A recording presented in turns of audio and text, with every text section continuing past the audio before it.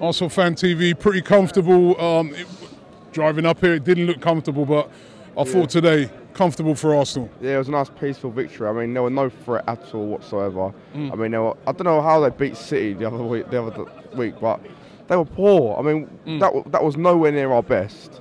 I mean, we we still need to get some like, like we're not sharp enough. I don't think. Like fair walk at the end. Like, how did not finish that? Like, but there's no negativity. We're through to the next round. But I don't want no one like United, Liverpool. We'll leave them for the final. You know why are we gonna get them? We want Preston North End when they beat United tomorrow. We want these these little teams. You know.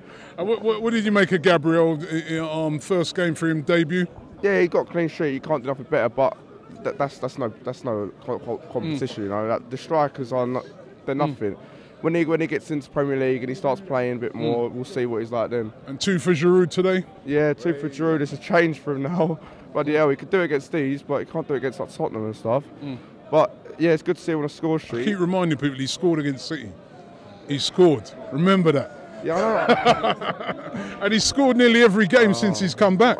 He- oh, he- oh, he's so frustrating. He'll score, but he'll do nothing the whole game. He's so annoying. But yeah, oh, Nice one, nice one. Yeah, uh, they. I think that must have been their cup final when they played City, and mm. they didn't know what to do against us, and or either that, or it just proves we're we're better than City.